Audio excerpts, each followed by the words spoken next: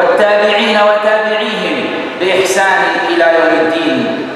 الله أكبر الله أكبر الله أكبر الله أكبر. لا إله إلا الله الله أكبر الله أكبر. ولله الحمد. Supporting all those who did good deeds in the previous days. And intend to do more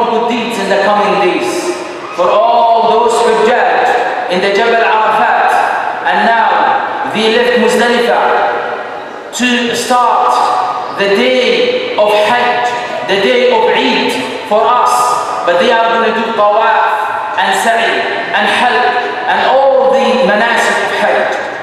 Allahu Akbar comes from the ma'adin, the minarets in Mecca and Medina and the Masjid al-Aqsa. Al-Masjid al-Aqsa. Allahu Akbar coming from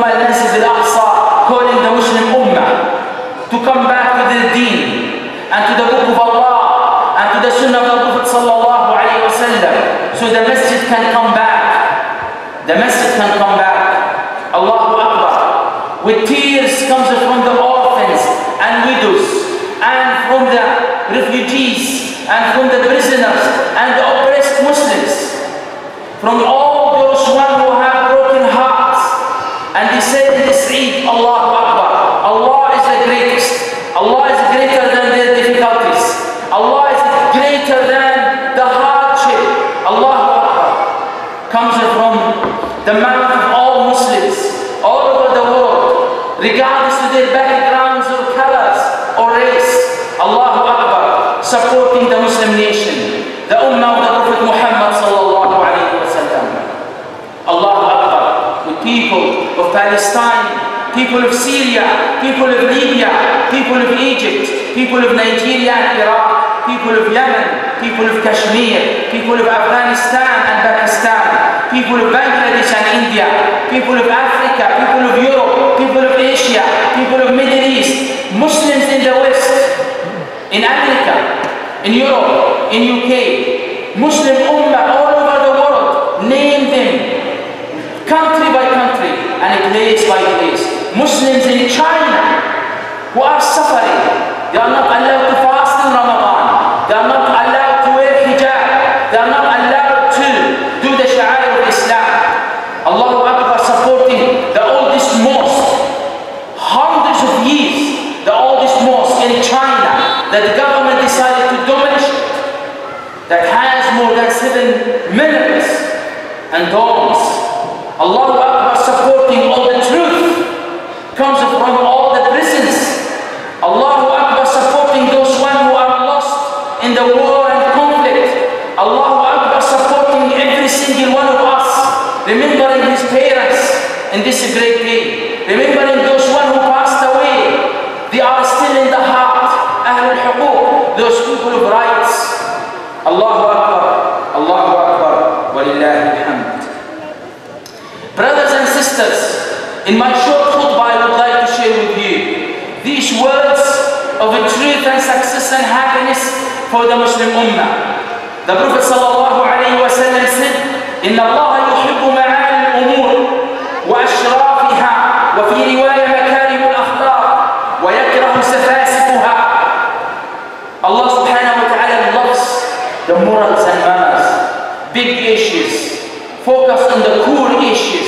important, significant issues that really support the faith and support and strengthen the community and bring good future. And Allah hate, Allah dislike the small issues here and there that people spend lots of time arguing about, talking about, spending lots unnecessarily time and effort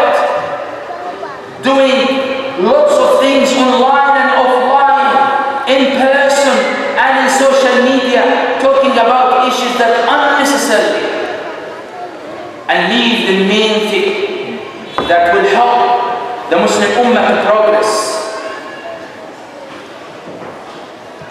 فلا تكفروا من لعن الظلام واجتهدوا في ايقاظ الشموع فان هدم الباطل ايسر من بناء الحق ولكن بناء الحق اجدر ان يكون ولو كان عسيرا. Do not and you should not curse the dark and the problems and the difficulties.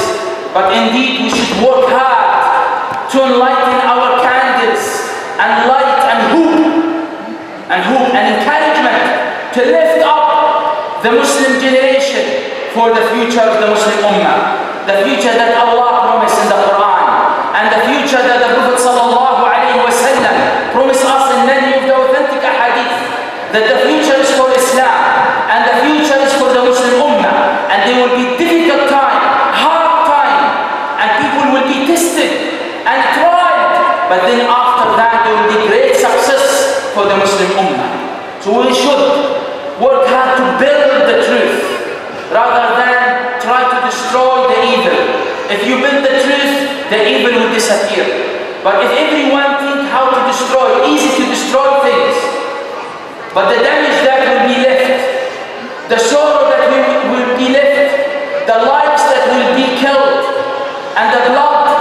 be running, and the suffering that will happen to destroy the evil is a lot and will cost us lots of time and suffering. But if we focus on building the truth, then this building the truth will be flood that will demolish the evil naturally. I am not saying that we should not speak the truth. I'm not saying that we should not stand against the evil, but we have to balance the consequences. Because sometimes, if we want to destroy the munkar, we may, we may create bigger munkar. To destroy small evil, sometimes you destroy, you build a bigger evil. To advise somebody in the front of people, you may embarrass this person and break his heart and make this person forever not seeing you or any other Muslims. You may isolate this person forever. You may destroy the goodness in his heart. But if you come with shelter, with love and care, and advise the person in private, then that is building the truth. And the evil in his heart will disappear. This is an individual level. Family argument, no need for it. Discussion and debate, we need it. Even heated discussion to build the truth, but not argument, not anger, not people get upset, not people hurt each other. And in government level, people need to help each other. Muslim governments, Muslim countries need to stand for each other, especially in difficult time. They need to stand for each other for the sake of the future of the Muslim generation. Brothers and sisters, we should not discriminate any one of us. And this is important. The Prophet sallallahu alayhi wa sallam, he said في حجة الوداع لا فرق بين عربي ولا عجمي ولا أبيض ولا أسود ولا أحمر ولا أصفر إلا. There is no any difference or preferences among you because the background, black or white or red or yellow. It's not about not about how you look like. It's not about your body. إن الله لا ينظر إلى أجسامكم وإلى صوركم. Allah doesn't look at your appearance and your bodies. Allah look at your hearts and deeds. What you do and what you intend in your heart. The Prophet ﷺ said, No one among you better than anyone, no superior one, except by taqwa, the piety, the good deed that we do. That's what makes us difference to the eyes of Allah and to the scale of Allah and the judgment of Allah subhanahu wa ta'ala. So in our heart, in the deep of our heart, forget the diplomacy, forget what we show in our faces. In the deep of our heart, we should have full love and respect for all the human and for all the Muslim Ummah backgrounds. In the deep of our heart, this has to be there. So when we smile to each other, be really smile. When we greet each other, to be really greet. When we talk to each other, we are there heart and mind and words and action. And this is Islam. We need to be positive. Enough negativity, talking, oh, this happened, that happened, complaining. We have this attitude of we are victims. We are victims. And complain attitude. People all complain. He will say this happened, that. But indeed, we need to be. And we need to say how we can learn from it. What we can do. What will make things happen. How we can unite together. This is important, brothers and sisters in Islam, to stand individuals and groups and organizations and governments for each other. Another key success that the Prophet ﷺ told us, and the Quran stated very clearly, sometimes we make things difficult for ourselves, but it is itself, it's easy. Honestly. And sometimes things a little bit difficult, and we make it more complex. Allah subhanahu wa ta'ala said in the Quran, يُرِيدُ اللَّهُ بِكُمُ الْيُسْرَ وَلَا يُرِيدُ بِكُمُ الْعُسْرَ Allah indeed wants comfort for us. Allah wants ease for us, not hardship and difficulties. يُرِيدُ اللَّهُ أَن يُخَفِّفَ عَنْكُمْ وَخُلِقَ الْإِنسَانُ ضَعِيفًا Allah wants to ease things for us and comfort us.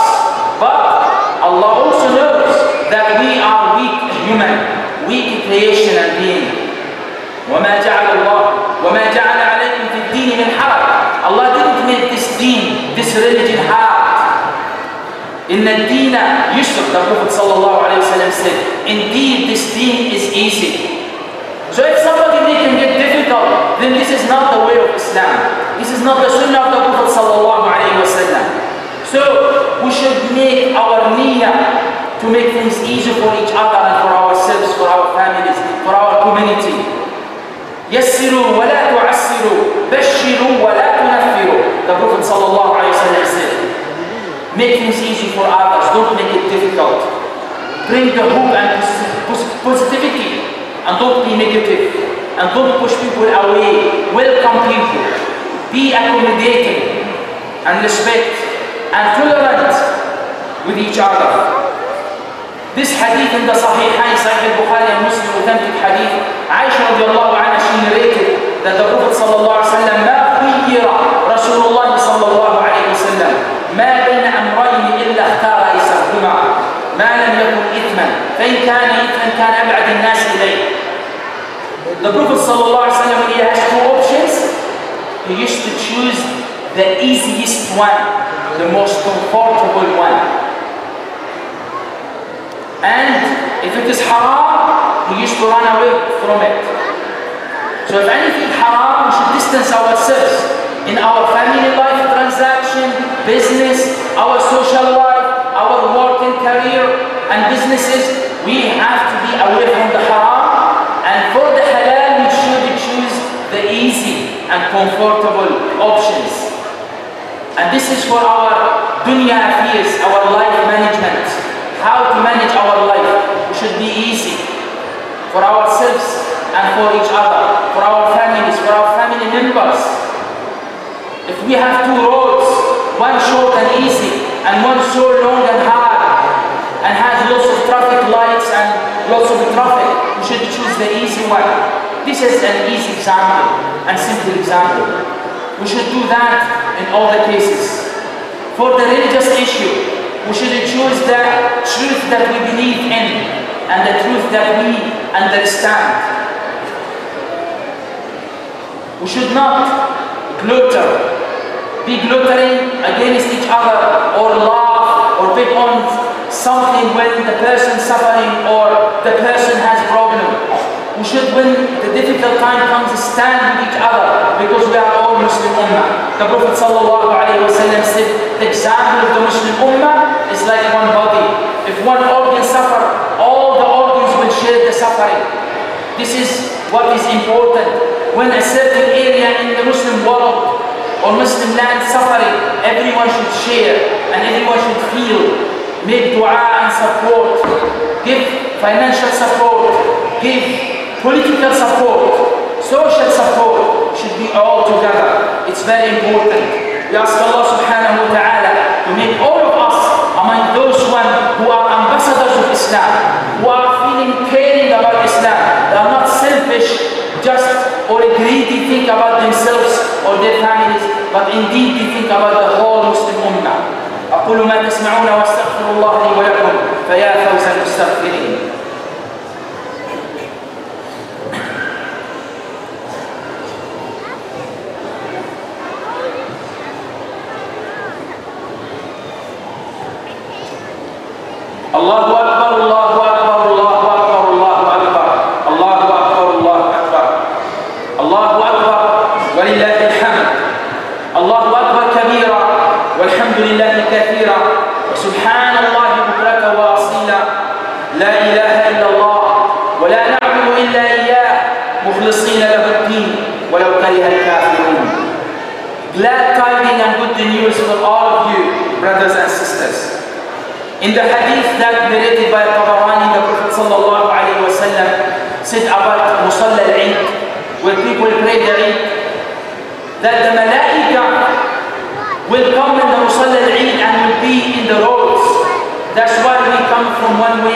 and we go home from another way to spread the good.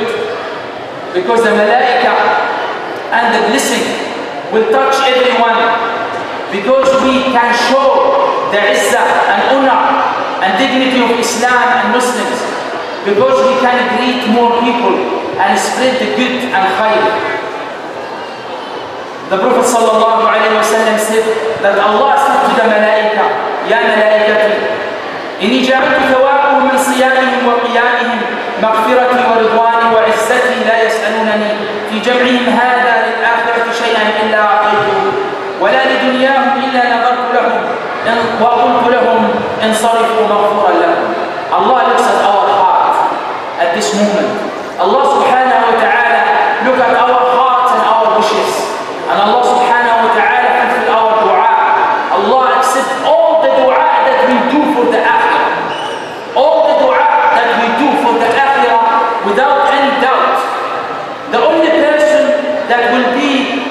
rejected by Allah is the one that has doubt in his heart or her heart. But we need to have certainty and yaqeen and ask Allah with full yaqeen. And that will make us indeed, indeed, indeed accepted by Allah.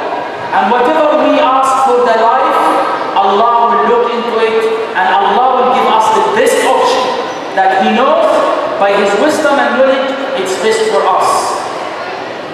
Brothers and sisters, today is the day of Qurban, the day of Udhiyah, the day of sacrifice, to eat from it, to kill, to donate, to gift or feed others. You can do all this, you can do some of it. You can do it for the sake of Allah subhanahu wa ta'ala. To revive and follow the sunnah of the Prophet sallallahu alayhi wa sallam. And the sunnah of Sayyidina Ibrahim alayhi salam and his family. This is a great family. Sacrifice of the father. Left the mother and children for the sake of Allah. To spread and raise the name of Allah and spread the good and the deen and iman. And this is for the patience and hard work of the mother who worked hard and sa'i bayna safa wal marwa between safa and marwa looking for the rest, the provision and water. And this is the blessing that Allah blessed Sayyidina Ismail the baby and the water of Zamzam came and the miracles that came by Sayyidina Jibreel alayhi salam. This great family that when the boy even grow a little bit and the father come back after long time, few years, he showed the little boy and he said, Oh my son, I've seen in my dream that Allah asking me to slaughter you. The son said, Oh my dad, you do what Allah command you to do, you will find me patient and I will accept it. ستجدني إن شاء الله من الصابرين. يا أبت افعل ما تؤمر. So this is a great family. The family of Sayyidina Ibrahim alayhi salam So when we do the Qurbani, we follow the Sunnah because Allah, He said, وَفَدَيْنَاهُ بِذِكْرٍ عَظِيمٍ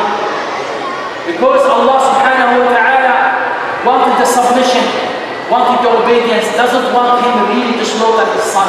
That's why the knife didn't work, even though it was sharp. This is why he didn't slaughter his son, but he did the ram, two ram from Allah, from the Jannah. Brothers and sisters in Islam, Sunnah al-Takbir continue today and another three days after Eid. Ayam al-Tashriq. The Prophet said, these days are days of Wa shurb wa dhikrun lillah. These days you eat, you drink with halal, without israf, without wastage of resources, and you remember Allah subhanahu wa ta'ala. This is the day of dua. Please remember your parents in this day. If they are not alive, make dua for them. If they are alive, make sure that you spend time with them. Visit them or call them if they are not around. This is the day that we visit each other. We look after each other. This is the day of التزاور والمحبة والتهادي والصلة والبر. This is the day that we exchange the gifts and greetings. If you don't have anything to give, give good words and with a smile because this is sadaqah. Today, don't forget your parents, your relatives, your wife, your husband, your children, your close people to you.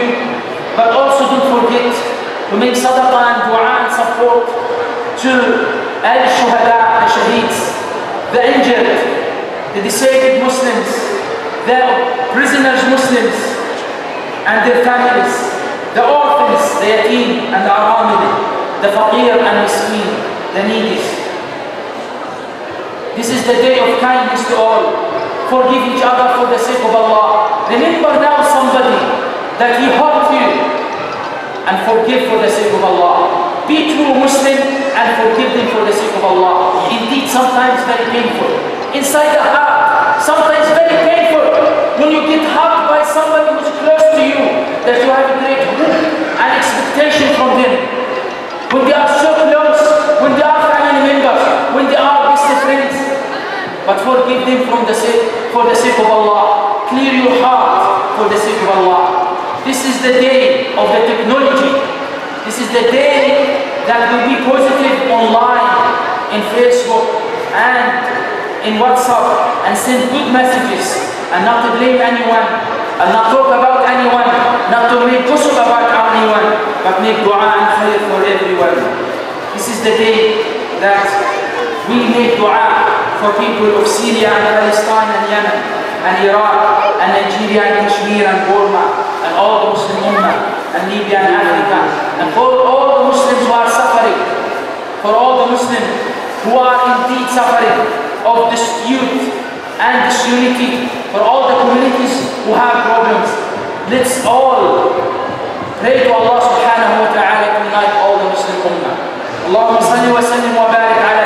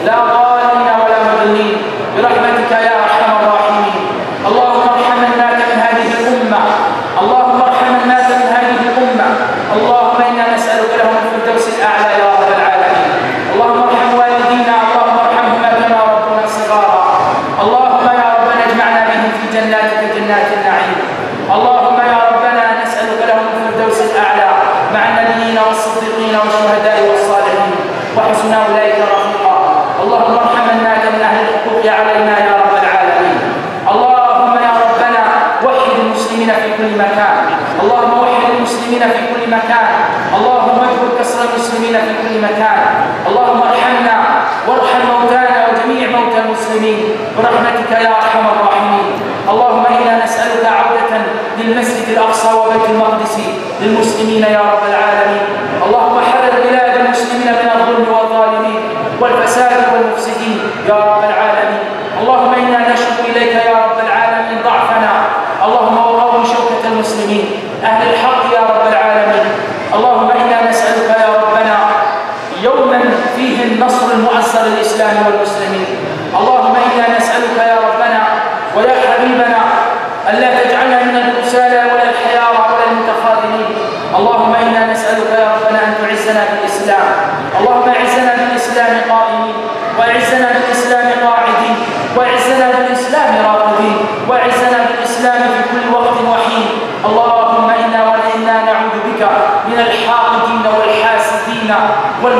المسلمين يا رب العالمين.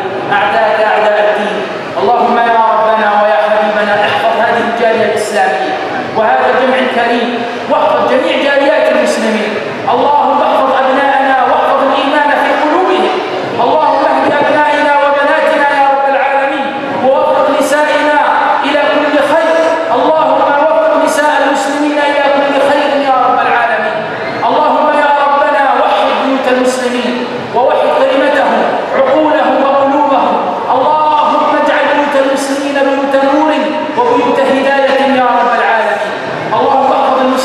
الأرضين وفي كل العالمين برحمتك يا